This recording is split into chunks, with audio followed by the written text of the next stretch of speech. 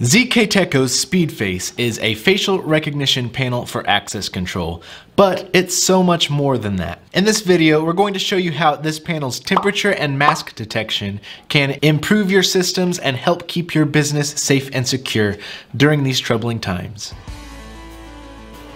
Normal temperature. With the SpeedFace temperature detection activated, Normal temperature. You can be sure that everyone walking onto your premises Normal temperature. is temperature free without having to manually scan each individual. If a person's temperature is higher than the set threshold, then an alarm will go off.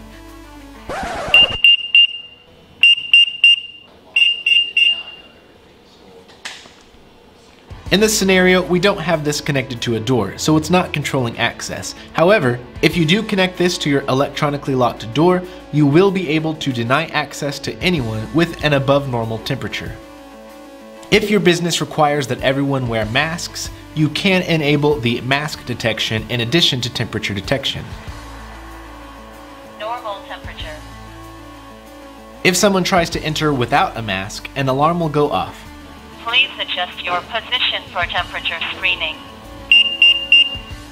Again, if you have this connected to your access control system, you can deny access to anyone not wearing a mask. Normal temperature.